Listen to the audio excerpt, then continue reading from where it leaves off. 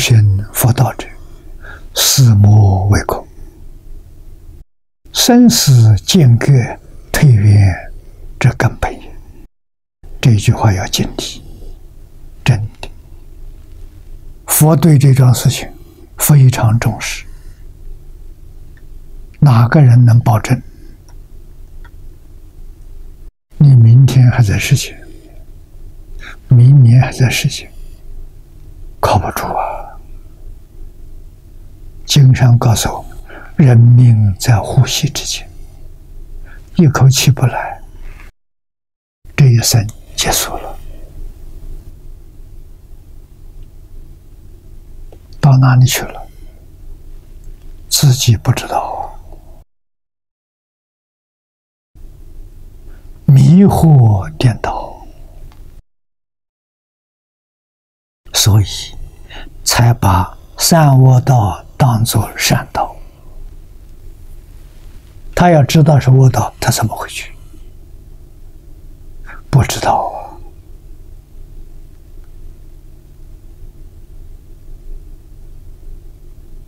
啊！进去之后就出不来了，越迷越深。啊，造作罪业，就起心动念越来越严重。啊，非常可怕。啊，所以这是退堕的根本。啊，一死之后就一落千丈了。见佛闻法，止于慎重，供养祝福，亲近善友，自然快乐，无有众苦，其德非也。也是一种啊，不止一种啊。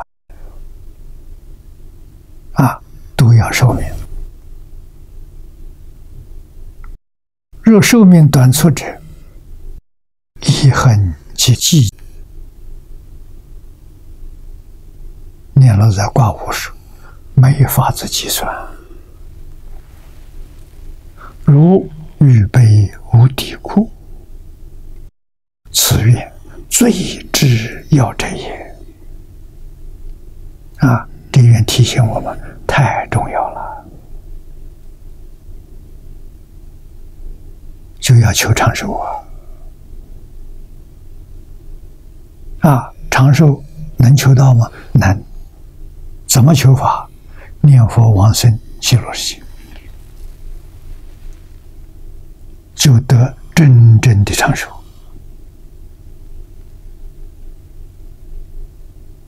啊，那我们在这一生当中，这一生什么是最大的事情？应该就这一桩事情最大了。我们求真长寿，我们不搞假的，家的东西统统放下。这个决心要下，要真下。下面。又往西一跃，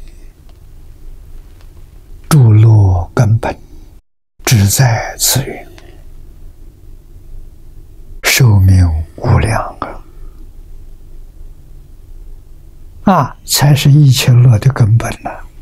如果死亡了，一切乐永远都离开了。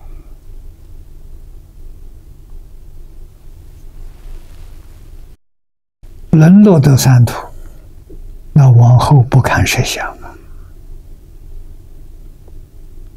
啊！啊，天虽然是落，寿命也很长，不就近了？不是无量寿啊！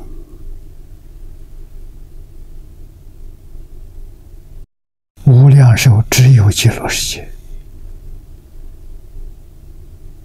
只有西方净土，舍此不修。告别的，